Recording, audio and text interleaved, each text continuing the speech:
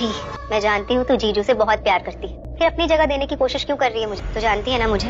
मैंने दुनिया की परवाह कभी नहीं की है। अगर किसी ने कुछ कहा या इस बच्चे को ताना भी मारा ना तो मुँह नोच लूँगी मैं उसका।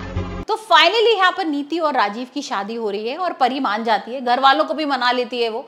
एक नया प्रोमो आया है जिसमें हम देख रहे हैं कि नीति और राजीव फेरे ले रहे हैं और सारे लोग बहुत खुश हैं। तो मेरी फ़िक्र क्यों कर रही है? मुझे नहीं फ़र्क पड़ता दुनिया वालों से। तुझे ऐसा तो नहीं लग रहा कि दुनिया के ताने सुन के मैं डिप्रेशन में ना चली जाऊँ? कहीं ऐसा तो नहीं सोच रही ना कि तानों से तंग आकर मैं सुसाइड ही ना कर लूँ? ऐसा कुछ नहीं होगा मेरी जान। और यहाँ पर नीति बोल भी रही है कि इसी दिन ना परी की शादी हुई थी और देखो अब एक साल बीत गया है और, और इसी दिन में अपने राजीव के साथ शादी कर रही हूँ। नीति नाम है मेरा।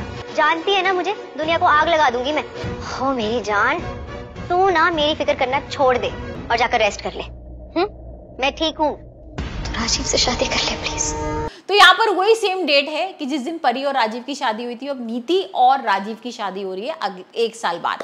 फिर वही बात क्यों अपनी प्यार की बलि चढ़ा रही है? नीति तुझे नहीं पता ये दुनिया ना किसी को चैन से जीने नहीं देती है। और अगर तू बिना शादी की माँ बन गई ना तो ये दुनिया में रहना बहुत मुश्किल हो जाएगा। तो भाई ये तो एक ट्विस्ट हो गया। अब दूसरा बड़ा ट्विस्ट आने वाला है कि यहाँ पर परी के सामने आ जाएगी नीति की सारी सच्चाई। हम देख रहे हैं किस तरीके से यहाँ पर फेरे हो रहे हैं शादी हो रही है सब लोग बहुत खुश हैं। पागल हो जाएगी रोज लोगों के सौ ताने सुन सुन के। और इस बच्चे के बारे में सोच यार इसका क्या होगा? कम से कम इस, इस बच्चे की खातिर ही शादी कर ले राशिद से। उतना खुश नहीं है, लेकिन हाँ सब लोग इंजॉय कर रहे हैं। लेकिन अचानक से ना परी के सामने एक वीडियो आ जाता है, जिसमें हम देखते हैं कि नीति ना गुरविंदर को धक्का दे रही है और वो सारी चीज़ें आ जाती हैं पहले जब गुरविंदर कुआँ में चली गई थी। और कौन था जिसने गुरविंदर को धक्का भी दिया था? मरी ने देखा भी था उस टाइम के कोई तो था और नीति अचानक से आ भी गई थी। लेकिन यहाँ पर नीति नहीं फंस पाई थी, नीति बच गई थी। बट अब जो वीडियो सामने आ जाता है ना तो अचानक से परी भागती भागती आती है और रोक देती है बीच में फेरे।